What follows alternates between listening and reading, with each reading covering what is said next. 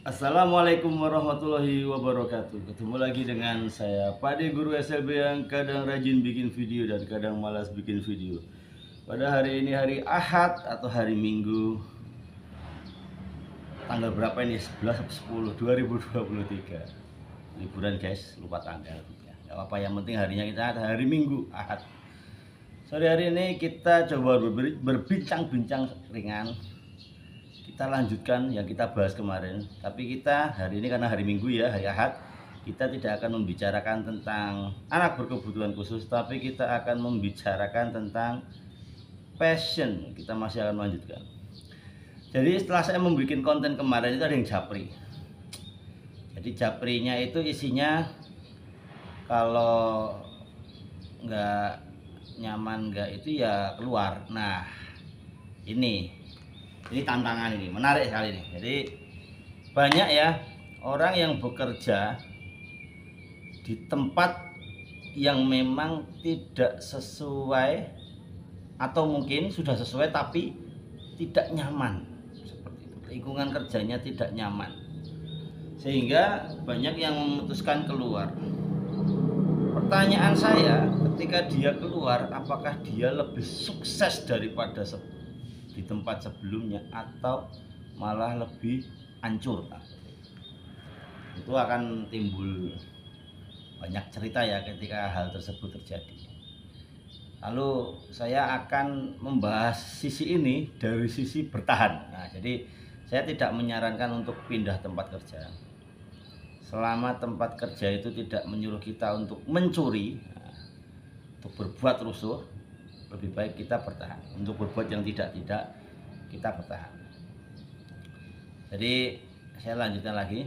Tadi karena kemarin saya bahas passion ya. Yo nggak cocok dia keluar. Dan teman saya itu memang anu dia memang model tipikal yang bekerja sesuai passion. Dan dia membuktikan dia bisa bertahan dengan passionnya. Dia ikut ceritanya gini. Dia ikut di perusahaan besar salah satu perusahaan besar di Indonesia bekerja di situ sebagai marketing ya. Penghasilannya bisa dibilang cukup lah. Dan kalau mau dibandingkan dengan guru honorer misalnya ya bagusan itu. Tapi suatu ketika ternyata tidak dilanjutkan dan ketika pernah ngobrol ini begini wah itu bukan passion saya. Pernah seperti itu. Akhirnya dia menekuni passionnya. Setelah keluar dari perusahaan itu kan ya dapat tabungan lah sedikit lah. Ceritanya mengembangkan usahanya. Dan alhamdulillah mantap. Nah itu yang kebetulan yang bisa bertahan ya. Tapi kan ternyata kan yang namanya usaha itu ada naik turun seperti itu. Pertanyaan apakah siap dengan itu itu juga berat itu tantangan lagi. Jadi kalau saya sekarang mengajak saudara-saudara ketika saudara-saudara bertemu tempat kerja yang tidak sesuai passionnya yang harus anda lakukan dan terus kemudian mungkin teman-temannya tidak membuat nyaman pengseng ya teman-temannya ya atau bosnya kurang enak jangan buru-buru memutuskan untuk keluar itu pikirkan lebih dalam lam lam lam lam seperti itu. Jangan buru saya mah bajak laut bebas. Oh bukan seperti itu guys.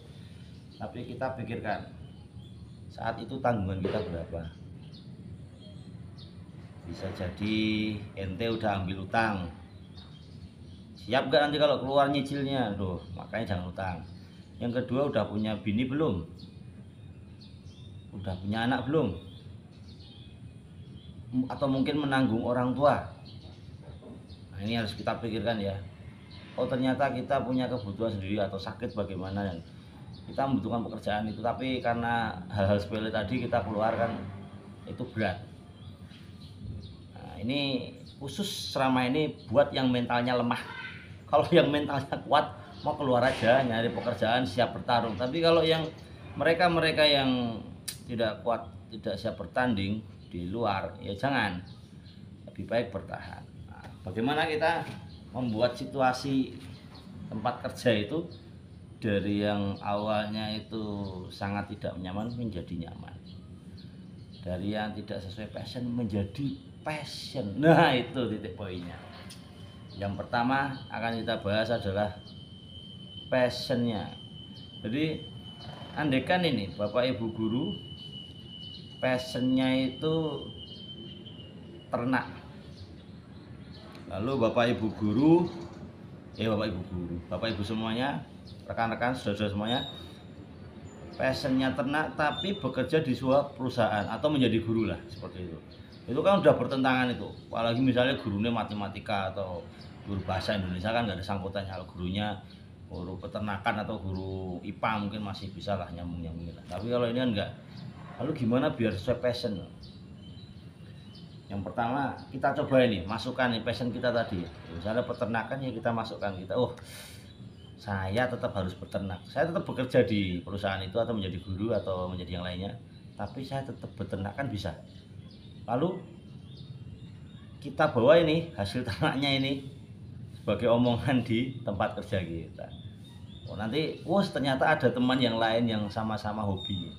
Wah saya misalnya bapak ibu hobi ternak burung oh ternyata temannya ternak burung. Oh ternak ayam ternyata temannya ternak ayam. Itu nanti suasana di sekolah di tempat kerja itu enggak sekolah ya di tempat kerja itu perusahaan atau sekolah atau ya kantor-kantor yang lain itu bisa menjadi lebih nyaman buat bapak ibu. Buat kakak-kakak semua. Nah, kakak-kakak aja. Buat kakak-kakak semua. Nanti lebih nyaman. Jadi coba bawa passionnya itu masuk ke tempat kerja anda. Nah kita rubah. Nah, saya kayak gitu. Saya itu orang Jawa walaupun bapak saya Sunda ya tapi saya Jawa. Nah saya pernah kerja di Banten. Nah daripada saya bingung belajar bahasa Sunda oh saya ajak bahasa Jawa. Saya bawa itu. Jawa itu saya bumikan di sana ya enggak masalah. Saya tetap asik loh. Walaupun saya tetap nanti belajar bahasa Sunda sedikit-sedikit tapi kan saya nggak langsung aduh KO seperti itu. Jadi apa yang saya miliki ya saya tularin. Ibaratnya virus corona saya sebar. Seperti itu. Itu contoh tadi. Kita memasukkan passion kita ke dalam ke dalam pekerjaan kita. Bicarane seperti itu. Jadi nanti topiknya berubah. Seperti itu. Yang kedua ketika kita berjumpa dengan yang terakhir ya ini ya, yang kedua.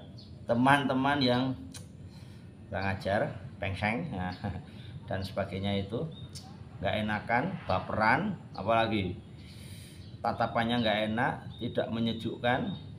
Nah seperti itu. Mungkin kalau yang perempuan temennya laki-laki lanange welek tatapan ulatane bos maneh galak ngangkon-ngangkon baik kalau yang bapak-bapak mungkin wah bosnya perempuan ngangkon-ngangkon baik nyuruh-nyuruh sok marah-marah mulu itu kan situasi nggak menyenangkan tuh. Tapi kalau menurut saya yang seperti itu ya pertama kita harus sabar. Teman-teman yang seperti itu harus kita deketin. Yang jelas kadang seperti ini. Saya pernah ini jadi teman saya itu seni ya ada dua nih yang satu senior satu junior. Yang junior ini kebetulan ketika ada percakapan itu kan menyampaikan sesuatu hal. Yang senior itu nggak suka. Itu sok lama sekali. Setiap kali yang junior ini ngomong apa langsung dibantah. Padahal nggak mungkin nggak pertama nggak ngobrol tapi mendekat itu untuk membantah. Untuk membantah ini. Nah saya kan iseng ya saya deket yang junior tadi. Oke. Saya ceritakan bapaknya yang senior itu tipikalnya itu suka dipuji suka diumbul-umbul ke suka dihormati kan saya sampaikan seperti itu. Nah suatu ketika teman yang senior ini lagi berbicara nu teman yang junior wah memuji-muji wah bener pak. Besoknya langsung jadi sahabat. Orang yang awalnya ya nggak enak jadi enak gitu. Pernah. Tapi itu temen kalau saya sendiri pernah ngalamin ya, ya pernah. Temen yang benci ke saya juga ada. Temen kak kerja. Tapi kalau saya ambil hati ya daripada saya darah tinggi biasanya saya abaikan. Saya saya abaikan. Ada temen yang seperti itu. Dia jadi nggak suka sama saya jadi kan saya pernah kerja di banyak tempat nih. Jadi di salah satu tempat kerja saya itu teman saya walalah teman saya ini ternyata memendam amarah kepada saya. Saya tapi saya nggak tahu salah saya itu di mana saya nggak tahu. Udah toh wah tiba-tiba itu kirim pesan itu akal kirim pesan ya coba tebak zaman dahulu pas sekarang. Kirim pesan ke saya. Kirim pesan ke saya wah panjang. Nah saya kaget ya Allah ya ternyata. Wah gini gini akhirnya saya cross check ah, ini pentingnya ini. Ketika teman sudah mulai mengungkapkan ketidaksukaannya kita cross check dulu. Kita jangan ikut-ikutan seperti dia baper. Tapi apa? Kita cross check salah saya di mana sih? Sekiranya menurut dia kita kurang begini ya udah kita berubah aja kan nggak masalah. Nggak usah kita lawan. Apa karena apa? Karena ngotot itu ndak enak. Enak itu santai. Kalau saya loh nggak usah ngotot-ngotot. Dah dia maunya apa kita ikuti. Yang penting kita nggak disuruh berbuat yang tidak benar. Orang kalau mau buat tidak benar mah sendirian aja nggak usah ngajak-ngajak tapi kalau sekiranya itu ada sikap kita yang mungkin mungkin ya saya kan ceria. Jadi cowaan ke sana ke sini ketawa. Wuh, wuh dikurangi pak. Ya saya kurangi. Kalau pas di depan dia oh di depan orang lain ya saya biasa wae. Yang penting apa? Persahabatan kita bagai kepompong seperti itu. Jadi nggak perlu kita keluar dari tempat kerja kita. Kita bertahan. Karena apa? Tadi kita memiliki banyak tanggungan. Kalau yang nggak punya tanggungan mah bodohan. Kalau yang punya tanggungan jangan. Win. Ngobrol santai kita sore ini cukup sampai di sini dulu. Kesimpulannya Bapak Ibu tempat kerja Bapak Ibu itu mungkin tidak besar.